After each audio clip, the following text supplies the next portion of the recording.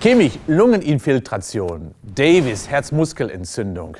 Jahrstein von Hertha auch Herzmuskelentzündung und der hat sogar sechs Monate fast vom Training aussetzen müssen und war sogar im Rollstuhl.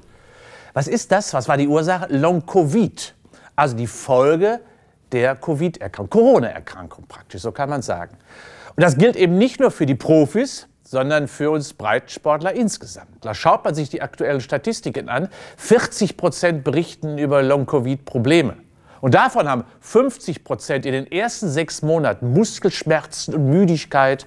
Und selbst nach einem Jahr berichten immer noch 20 Prozent der Sportler und Sportlerinnen über Muskelschmerzen und Müdigkeit. Also eine gravierende Problematik, die sich daraus ergibt. Und die gilt es natürlich zu beachten, für uns alle insbesondere, wie gehen wir mit dem Sport eigentlich um. Und das ist egal, ob Fußballprofi, Langläufer, Turner, Leichtathlet, alle müssen darauf achten, dass eben die Sportart doch nicht einfach mal wieder so begonnen werden kann, sondern man muss Ruhe, gerade in den ersten vier Wochen, unbedingt gelten lassen unbedingt mal kontrollieren, was ist eigentlich mit meinem Ruhepuls los? Ist er immer noch erhöht? Wie fühle ich mich?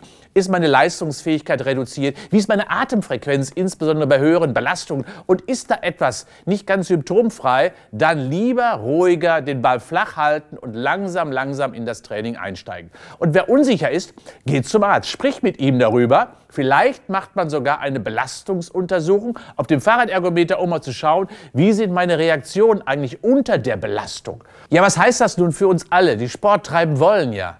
Achtet bitte auf euch selbst.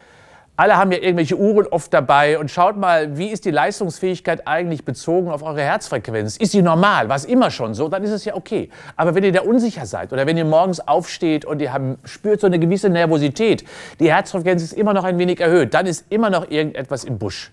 Also lieber etwas mehr vorsichtiger sein, lieber etwas mehr kontrollieren. Das ist, glaube ich, jetzt das Gebot der Stunde. Denn Long-Covid ist wirklich keine Lappalie. Es ist letztendlich wirklich relativ ernst zu nehmen, damit ihr langfristig noch in eurem geliebten Sport auch richtig bleiben könnt.